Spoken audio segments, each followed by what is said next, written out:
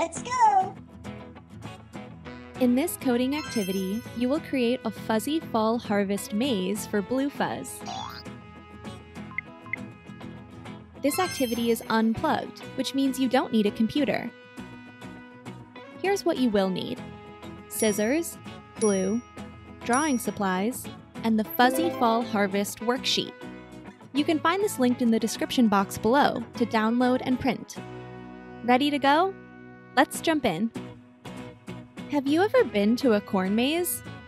No, not a candy corn maze, a real maze made out of corn. The goal is to get from the start of the maze through to the finish. Sometimes there are fun things to collect on your way, like apples, pumpkins, or, you guessed it, corn. The corn stalks that make up the walls of the maze might be double or triple your size, so you can't see out. They might have twists and turns, and even dead ends, so it can be tricky to find your way through. Here's what a giant one looks like from a bird's eye view. Can you imagine if you were right here? It would be fun, but also challenging to get out without getting lost. This year, the Fuzz family has decided to head to the Fuzztopia corn maze to give it a roll. In case you haven't met them yet, the Fuzzes are round, furry aliens who love adventure and trying new things. But Blue Fuzz is feeling a little nervous. On one hand, he's so excited to have fun with his family and harvest some fall treats. But on the other, he doesn't want to get lost in the maze. To make sure that he has a good time and stays safe, there's something you can do to help. First, you get to design the corn maze. You can make sure it's fun and challenging, but also solvable. And second, you will give Blue Fuzz the exact sequence of instructions needed to get through the maze. In other words, you'll tell him where to go, so there's no way to get lost. Here's how it works.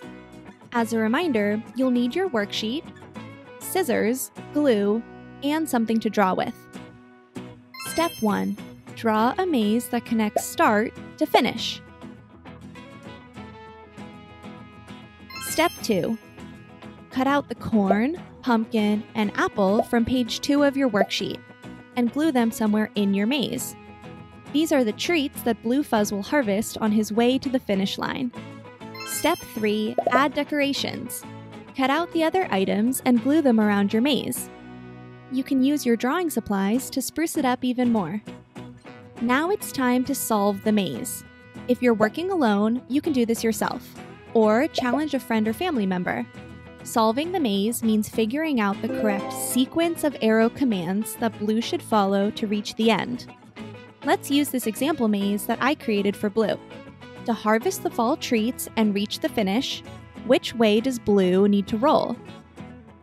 Right, down, left, down, right. Draw these direction arrows in the spaces below the maze. Right, down, left, down, right. Notice that if Blue follows this sequence exactly, he will roll right through the maze and join his family.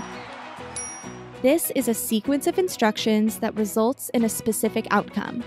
In coding, this is called an algorithm. You can create an algorithm too. Now it's your turn. Help Blue Fuzz harvest the fall treats and get to the end of the corn maze. All the instructions mentioned in this video are also on your Fuzzy Fall Harvest worksheet, so just print it out and get rolling.